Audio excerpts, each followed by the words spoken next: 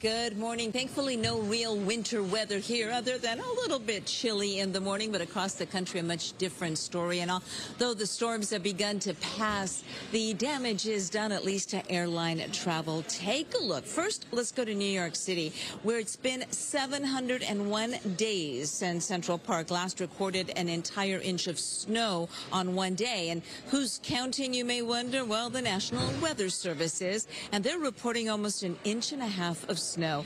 A nippy 30 degrees there this morning. And while this week's winter storms are calming down, the damage is done, especially to airline travel. Over 4,200 flights within, in, and out of the United States are running late today. And over 1,800 have been canceled altogether. Many of those, of course, due to weather. Now here at LAX, as we do usually, we've seen the number of flights running late increase as the morning goes on. Right now, about 131 flights are late and about 50 of them have been canceled altogether. So, of course, you'll want to check ahead. We just had a, a good friend of ours from South Carolina post that her flight is being delayed because of de-icing.